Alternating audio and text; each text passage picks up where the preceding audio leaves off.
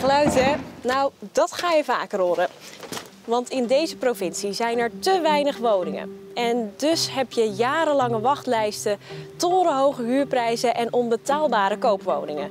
Ik hoef je niet te vertellen dat we in een wooncrisis zitten.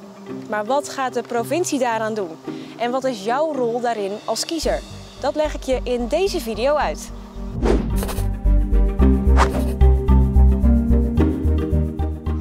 Even dit. Utrecht is dicht bevolkt. Per vierkante kilometer wonen hier 916 mensen.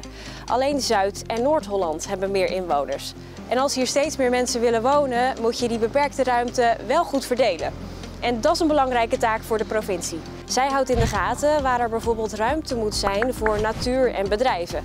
En dus ook voor woningen. Want aan dat woningtekort moet wat gebeuren. Je werkt hard en je verdient gewoon een leuk salaris. En er is 0,0 kans om je eigen dorp een huis te kopen. Maar hoe zorgen we dat Chris uit Ameide en heel veel anderen een huis krijgen? Nou, daarover zijn vorig jaar afspraken gemaakt met de regering in Den Haag. Tot en met 2030 moeten er 900.000 nieuwe woningen bijkomen.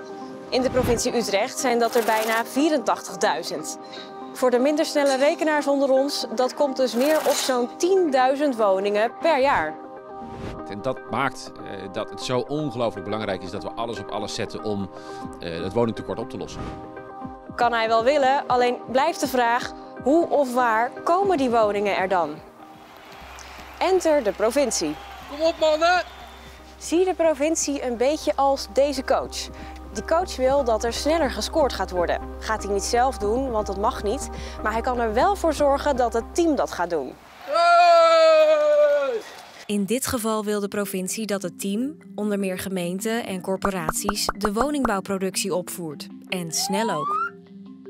Oké, de mensen die voor de provincie werken bouwen zelf geen huizen, maar zij helpen anderen wel. Bijvoorbeeld gemeenten.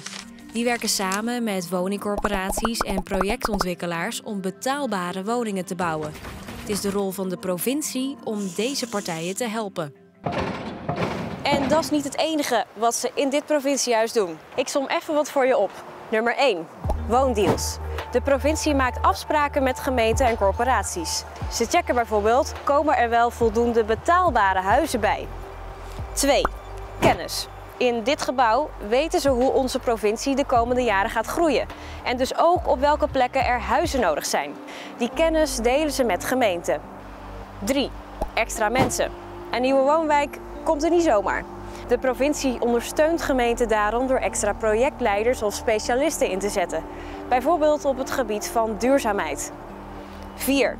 Lobby. De provincie lobbyt of er wat meer flappen uit Den Haag kunnen komen.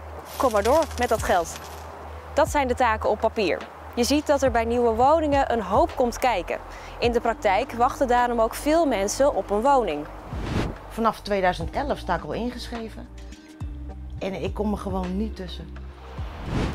Daarom heeft de provincie haast om al hun inwoners te helpen op die gekke woningmarkt.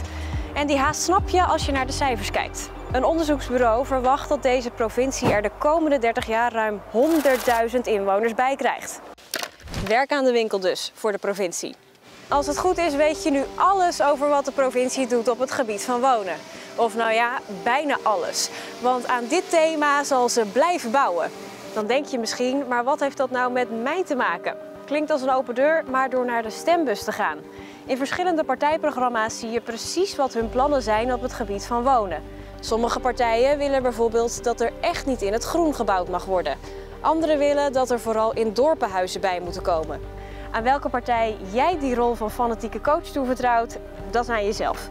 In ieder geval ben je nu wat beter voorbereid. Jouw stem staat dan als een huis.